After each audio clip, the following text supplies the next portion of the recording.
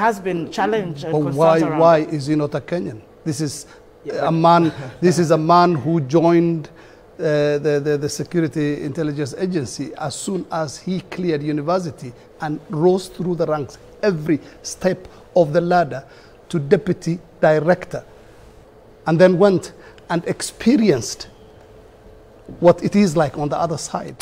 Why, why, why would it matter to people that he has? I mean, why should somebody complain about somebody who has experienced both sides When- when and the the- president sees fit to lead the organization? All right. Why are people mentioning, the, for example, a few other officials, and I see them side by side in pictures?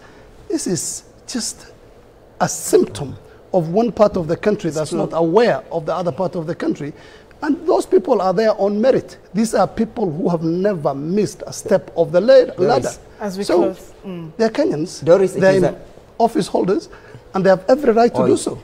Yes. I'm actually gobsmacked by some of the sentiments uh, All right. Wakili raised. All right. And it is nostalgia for a past era where certain positions were just associated with certain people from certain ethnic groups Mm. that you're so surprised when you see somebody who you thought was Listen to the submissions of previously and with strong academic credentials And in law serious with the and security All right. and his experience at the DPP We should also consider the him failures in the DPP director office. NIS. will not And only All right. one we And also Um, to consider the failures he has had. In the DPP. Thank you very much for watching New Dawn.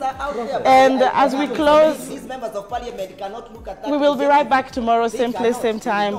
Honorable Mohamed, thank you for your time. Wakili, we appreciate you. Honorable Sossion as well. Have a great day. Thank you for watching. Stay woke.